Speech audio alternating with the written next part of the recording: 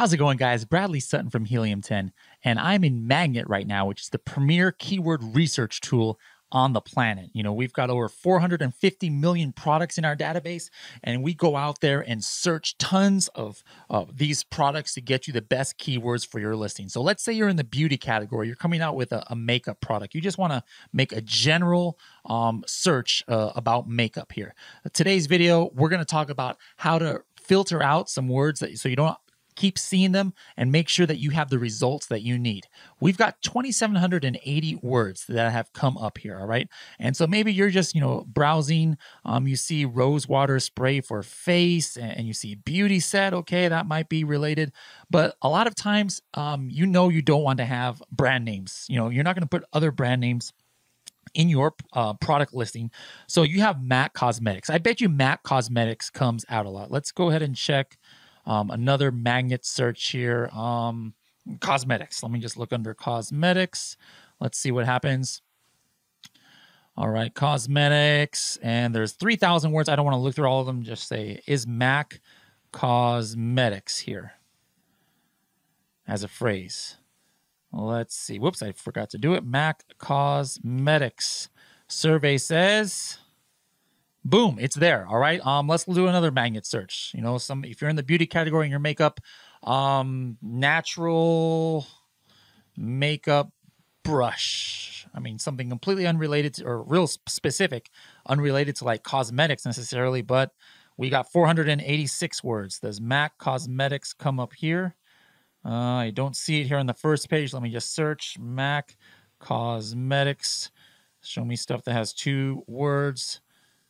Boom. So Mac Cosmetics might be coming up all the time. Let's say you search 10 words because you know you're doing lots of keyword research and you keep seeing Mac Cosmetics, you know.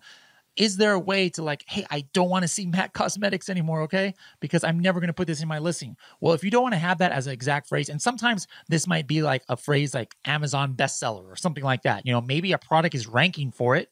Um, you know, it's an actual keyword that's searched a lot. Look at Mac Cosmetics is searched 8,000 times a month. So that, that's why it's here, you know? But what can we do? I'm going to go up here to common words and I'm going to say add common word and I'm going to put Mac Cosmetics. And what this is going to do is now, whenever Mac Cosmetics comes up as a standalone phrase, you know, not as part of another phrase, it is no longer going to come up. So let's see. Um, this was on this page and I don't see it anymore. Let's just make sure. Show me phrases that have Mac cosmetics. There are two words. Apply. Look at that. It's not there anymore. Let's go to the search for cosmetics. Let me go ahead and show, do the search again. Say, show me words that show MAC Cosmetics. Two words, no longer found. It's not there. What about my search for natural makeup brush? It was right here, right? Let me do this again. Search again it's gone. Okay. So the way I did that again was common words. So now this is permanently on my ban word list. I don't want to see this phrase ever come up in any search I do on Magnet. If I ever wanted to change my mind, I'll go ahead and delete it. All right. Well, what's the difference between that and then deleted words? All right. Let's look up, uh, let's open up this search again. Um, apply. As you go through your keyword research, you might see stuff that you don't want to see. Like, hey, I'm looking for um, something to do with gifts. You know, I don't want to see something um, that has nothing to do with gifts. All right. Um, facial mist. So maybe I'm like, hey, I don't want to see facial mist in this search. I'm looking for something else. I don't want to see makeup Mac. I don't want to see this. I don't want to see this, whatever, right? So I'm, I'm um, narrowing down my keyword results. Well, that no longer comes up here. When I hit history and look at my search history and I pull it up, those ones aren't going to come back. But what if I made a mistake? Or what if I deleted something accidentally. Well, I'm going to go to deleted words, and those ones that I deleted are right here, only on this search. It's not like never again will makeup removing wipes come up. You know, that's common words, okay? Deleted words is just for this search session. These words are not going to appear in my history or what I'm looking at right now. So maybe I'm like, whoops, I didn't mean to release or um, remove facial mist. I'm going to return that back into the listing. Now it's going to come up here, facial mist. All right. So, um, what if you don't want to see? Look at all these words with facial spray, facial spray. All right.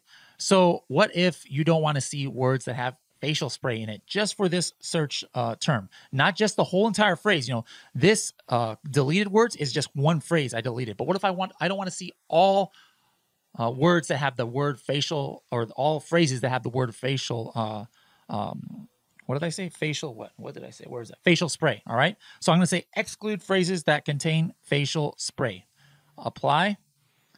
It went from 2776 now to 2754. That means there was like 20 listings in there that had facial spray. I am no longer seeing that. All right. What if I want another another phrase? I just put a comma right here. I don't want to see anything with kabuki.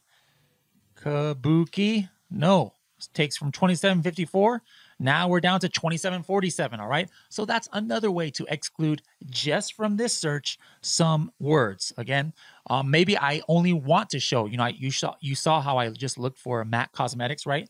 But maybe I'm just curious. Um, um, for example, right here, it says eyeshadow is repeated two over 200 times in these search results. So I'm going to go show me the phrases that include eyeshadow.